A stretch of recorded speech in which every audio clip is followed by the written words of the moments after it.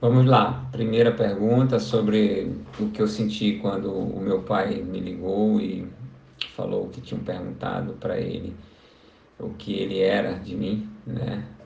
É, foi um momento muito importante, marcante na minha vida, muito mesmo, né? Porque é, a gente tinha várias coisas em comum, mas com certeza é, muitas diferenças também.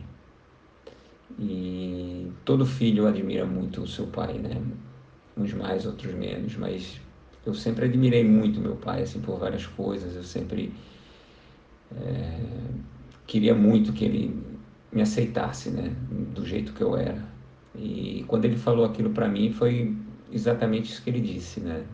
Indiretamente, ele falou: Filho, é, eu te aceito do jeito que você é, é, as tuas escolhas, o que você faz, o que você escolheu para a vida, né?